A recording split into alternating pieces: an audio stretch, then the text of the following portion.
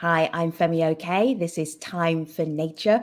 We are bringing to you some of the most amazing ambassadors, goodwill ambassadors for UNEP around the world who are great conservationists, environmentalists. You don't have to go anywhere. We're bringing them right to you, to your screen. So I'm going to say hello to Alex Rendell. He is a UNEP Goodwill Ambassador for Thailand. Hello there, Alex. Hello, Sawadee krap, home, Sawadee krap in the acting profession, there is this saying never work with children and animals. And you're doing exactly that with your organization. Why? I realized that working with children is like, um, it's like a way to solve the problem at the very beginning. Alex, what you are making are mini environmentalists. You're getting them right at the tender age when you can teach them about this is how we behave in nature. This is why we we don't throw plastics away. You're educating the youngsters from the very earliest age so they have the best behaviors possible. Let's take a look at a, a young man here. He is wearing a snorkel and you are doing what together?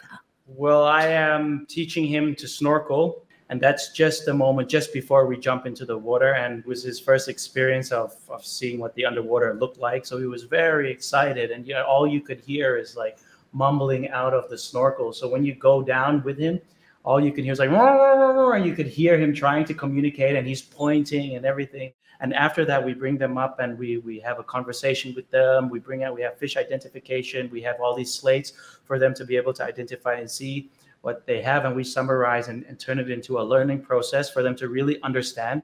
You brought an elephant to our conversation. That is always a good thing. Picture of you and an elephant, and you look like your buddies.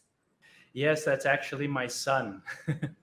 His name is Kwan Muang. Uh, it means like heart of the city. Translated, I went up to Khao Yai, which is two and a half hours away from Bangkok, and I saw that uh, the professors down there were rehabilitating blind children and disabled children using elephants. And I thought that, wow, this is amazing. So then I, I, I set up this fundraising program to adopt that elephant in the picture to Khao Yai in order for him to be uh, a teacher to, to the students so people could learn more about elephants and therefore be more inspired to conserve them. What is the most important thing, Alex, as a youngster that you should appreciate, actually, as a grown up, you should appreciate about the environment in which you live. If there was one lesson, one lesson you were going to share with us, what would that be? Well, I always tell them that the we are part of the ecosystem and we do not own the ecosystem.